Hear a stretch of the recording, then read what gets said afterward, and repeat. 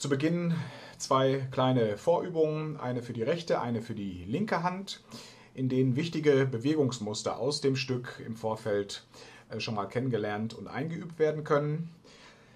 Das Muster für die rechte Hand sieht wie folgt aus. Wir beginnen und greifen zunächst mal das Intervall einer Sechste hier mit dem Daumen äh, auf dem E und dem vierten Finger auf dem Cis.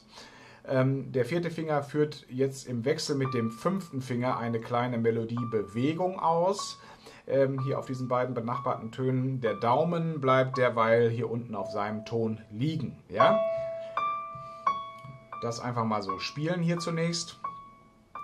Jetzt können wir dem Ganzen auch ähm, eine rhythmische äh, Struktur geben, ähnlich wie das nachher auch im B-Teil der Fall sein wird, dass wir hier oben diese Melodie mal punktieren. Ja, das ein paar Mal so im Wechsel spielen.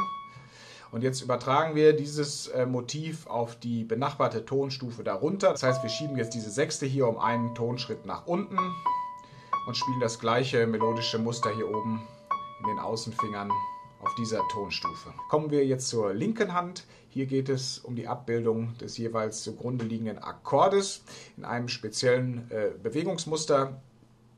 Ähm, wir beginnen mit dem Grundton. Nehmen wir mal hier direkt den Akkord H-Moll.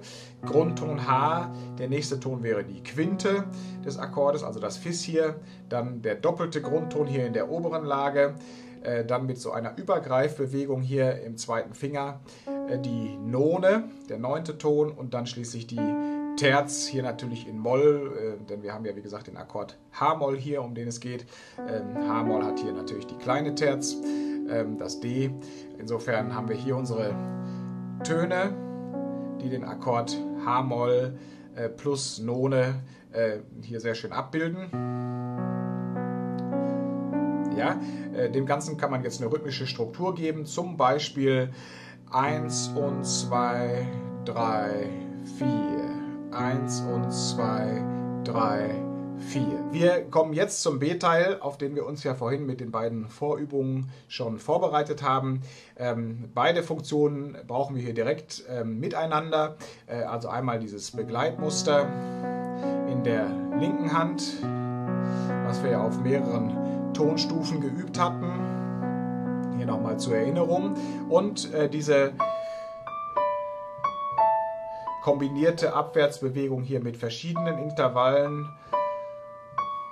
Diese rhythmisch-melodische Bewegung hier oben in den Außenfingern und der liegenbleibende Daumen hier, der je nach Intervallstruktur dann an seine entsprechende Stelle geführt wird. Ja?